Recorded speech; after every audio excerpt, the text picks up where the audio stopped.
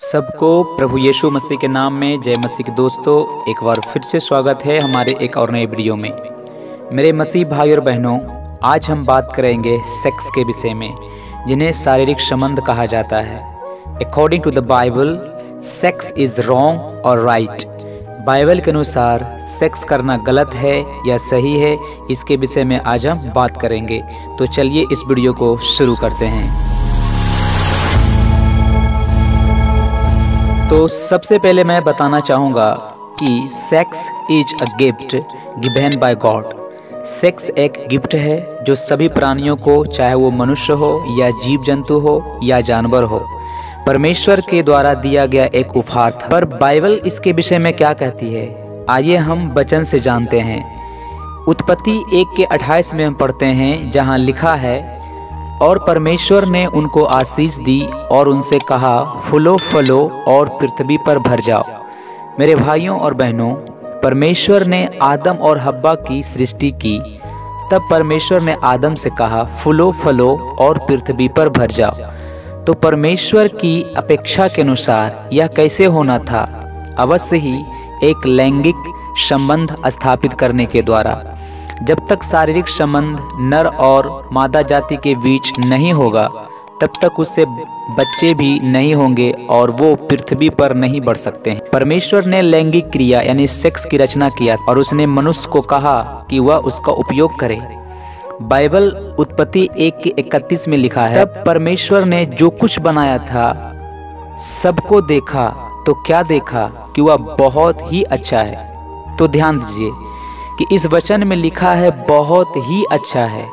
जब परमेश्वर ने यह शब्द कहा कि बहुत ही अच्छा है तो ये शब्द परमेश्वर ने कब कहा? जब परमेश्वर ने छह दिन में सारी सृष्टि की रचना कर लिया था और अंत में परमेश्वर ने कहा, बहुत ही अच्छा है। तो इस वचन से पहले परमेश्वर ने क्या कहा था? फूलो, फलो और धरती पर भर जाओ। तो हम देख सकते हैं कि सृष्टि में मनुष्य में रखा लैंगिक काम यानी सेक्स शामिल था। तो मेरे मसीह भाई और बहनों, विवाह में लैंगिक काम यानी सेक्स करना एक ऐसी बात है जिसे परमेश्वर ने बहुत ही अच्छा कहा है। सेक्स विवाह के अंदर बहुत अच्छा है, लेकिन विवाह के बाहर या विवाह से पहले सेक्स करना ये बहुत गलत है।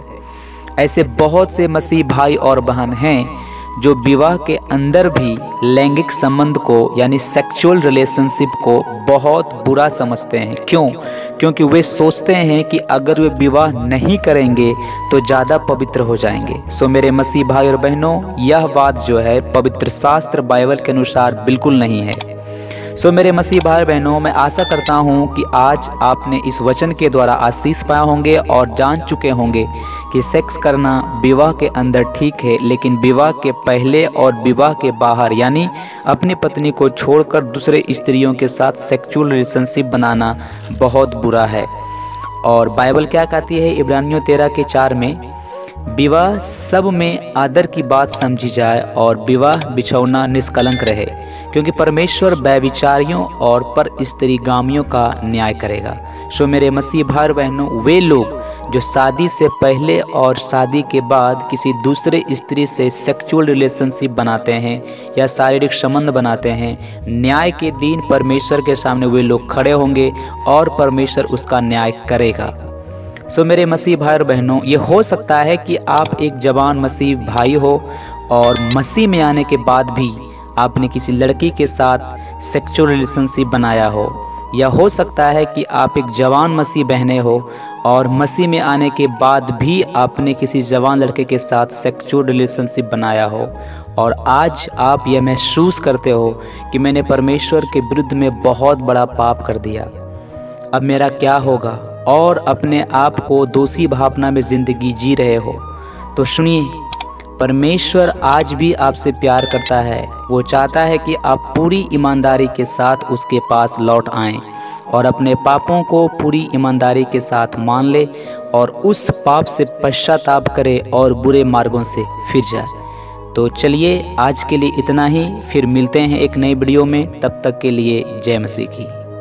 ऐसे अनेक वीडियोस को देखने के लिए हमारे चैनल को सब्सक्राइब करें, बेल आइकॉन प्रेस करें और वीडियो को लाइक ज़रूर करें। धन्यवाद।